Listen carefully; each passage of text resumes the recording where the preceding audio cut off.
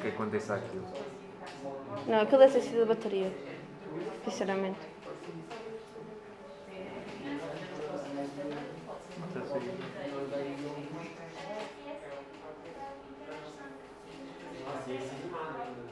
Espera aí, já está quase a acabar.